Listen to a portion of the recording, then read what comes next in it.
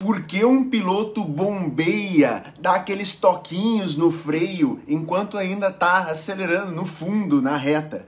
Eu coloquei isso na minha pilotagem para sempre, tá? Porque muitas vezes a gente vem guiando um carro de corrida, passa em cima de uma zebra muito forte que faz o carro trepidar muito, faz as rodas trepidarem. E isso faz com que as pastilhas de freio que vão ali encostar no disco de freio para frear o carro, elas se movimentem durante essa trepidação, o que fazem elas afastarem um pouco do disco. E quando tu vai dar a primeira botada no freio, a pastilha tá afastada, então tu sente o teu freio baixar, o teu freio mais borrachudo, como a gente chama. E isso traz uma sensação muito grande de insegurança para o piloto.